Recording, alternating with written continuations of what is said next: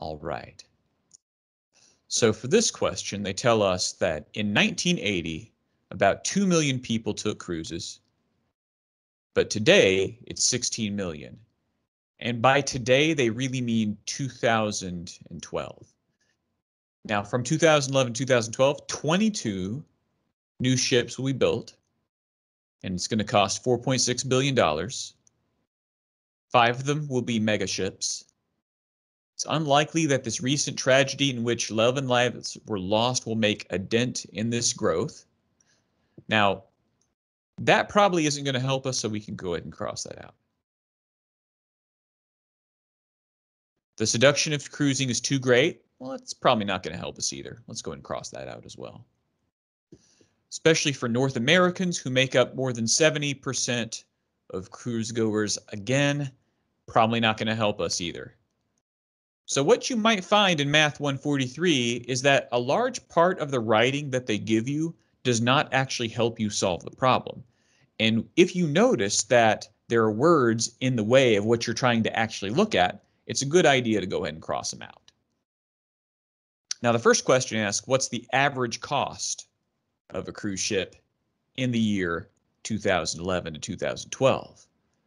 To find the average, we take the total cost and divide that by the number of ships. Now, our total cost, let's look where it says the cost is 4.6 billion. So on the top, we place 4.6 billion.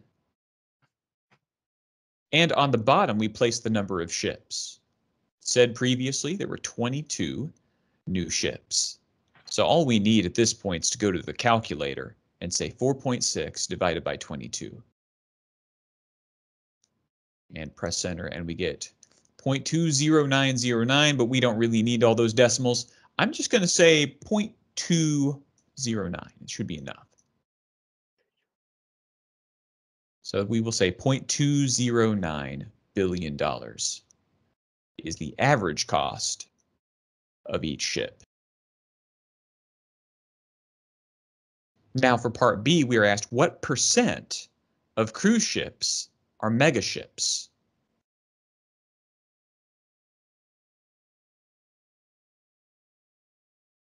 So what we need to do for this is take our number of megaships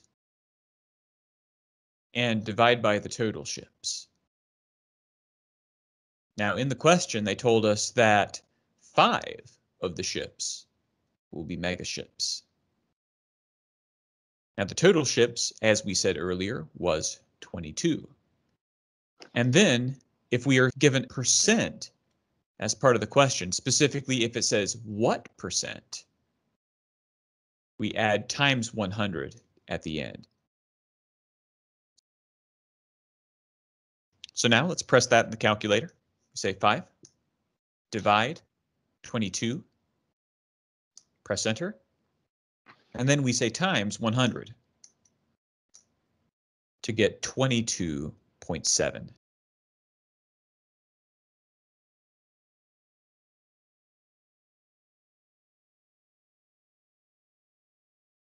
Part C. By what percent has the number of people going on cruises grown from 1980 to 2012. So let's have a look at the data. In the previous slide, in 1980, we had 2 million people. And in 2012, we had 16 million. So what we need to do is subtract those two numbers to find the growth.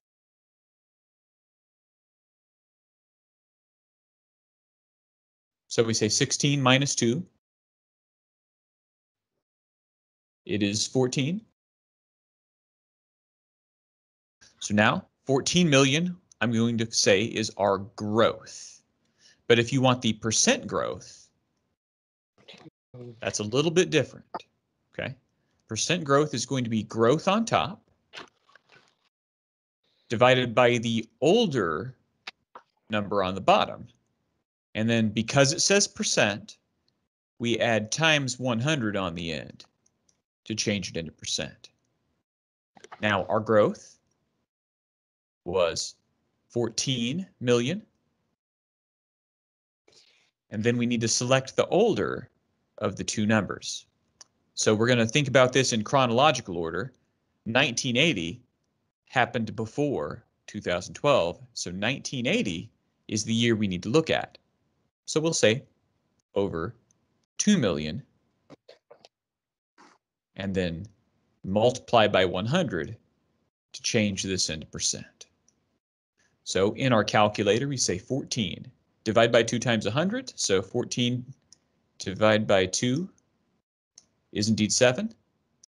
Multiply by 100 gives 700%. So for part D, what number of people will go on cruises in another 32 years in 2044? So I'm going to work this. Okay, so we've got our 700. In part D, we need to use this equation.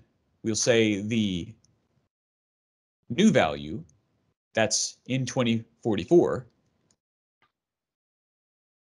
is equal to the old value, that is from 2012 times, say 1 plus the percentage over 100. So the P I've written here is the growth percent. This comes from part C. The old amount of people from 2012, the number of people who went on cruises in 2012, we found previously was 16 million. And then the new amount in 2044, we don't know. So we'll have to do the math to figure that out. So we'll take 16 in this position, multiply times 1 plus my growth percent, which is 700, divide by 100. So now what I'll do is say 700 divide by 100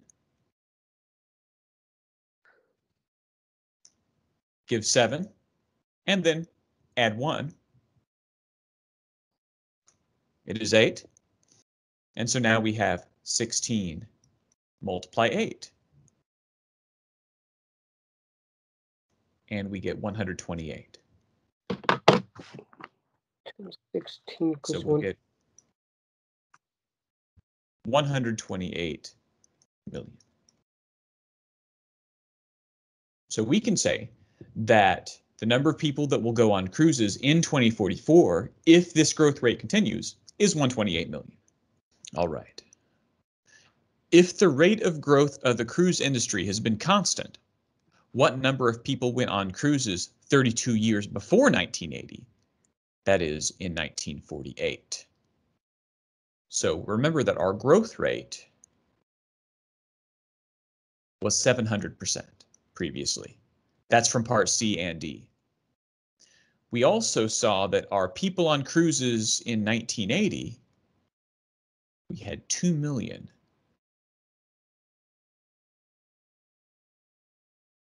So let's use that information and reset the problem we did in part D and try again. Now we're going to treat our newer value as being the value from 1980 and the older value being the value in 1948.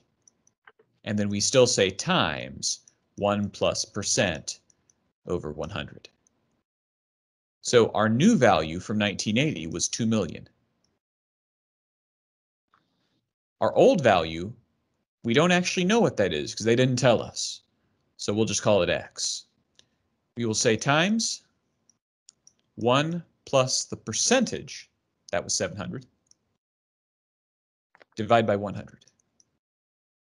All right. Now, in part D, we already found that 700 over 100 was 7. So 7 plus 1 is what we have inside the parentheses. Now 7 plus 1, of course, is 8. So we have 2 equals x times 8. So now we need to try to solve for x And to do that, we will divide by 8. We will divide on both sides. So the 8's cancel out, and we have 2 divided by 8 equals x. And then we go to our calculator. Some of you might know this already, but 2 divided by 8 gives 0.25. And this will be in millions.